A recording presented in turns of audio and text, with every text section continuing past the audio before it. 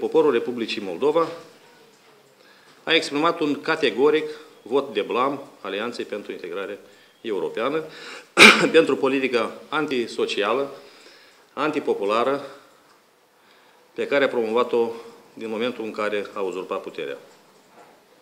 Așadar, avem o înfrângere zdrobitoare a Alianței pentru Integrare Europeană.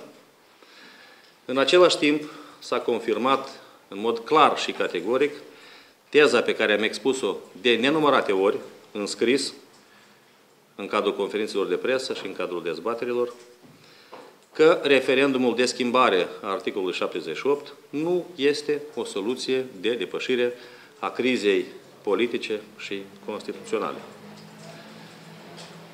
S-a mai confirmat și un alt adevăr pe care îmi place să-l formulez. Tentativa de uzurpare a puterii de stat și de rămâne la guvernare cu orice preț Alianței pentru Integrare Europeană a eșuat.